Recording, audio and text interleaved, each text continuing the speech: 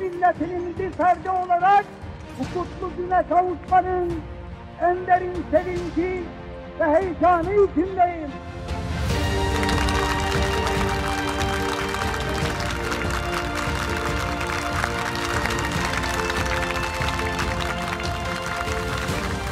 Ne mutlu Türk'üm diyene.